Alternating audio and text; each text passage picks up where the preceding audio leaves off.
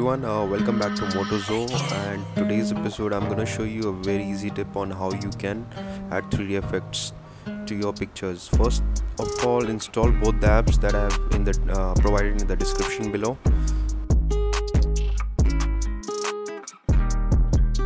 उसके बाद आप फर्स्ट VPN को ओपन करना VPN को ओपन करने के बाद कुछ इस तरह स्क्रीन आएगा then once you open the VPN top right में आपको सर्वर सेलेक्ट करना है यूएसए का।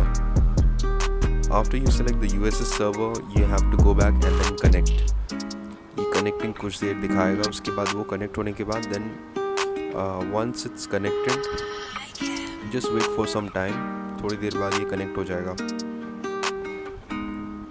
कनेक्ट होने के बाद as you can see going back to open the CapCut app CapCut app open करने के बाद कुछ इस तरह स्क्रीन दिखेगा।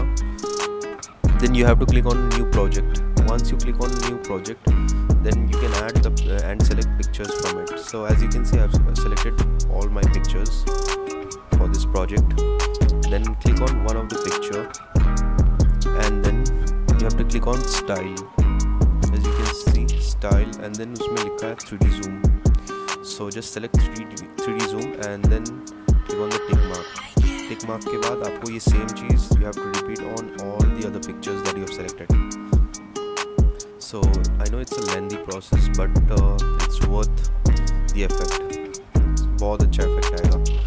So as you can see I already done that and I show you how it comes out so ये सब करने के बाद आपको export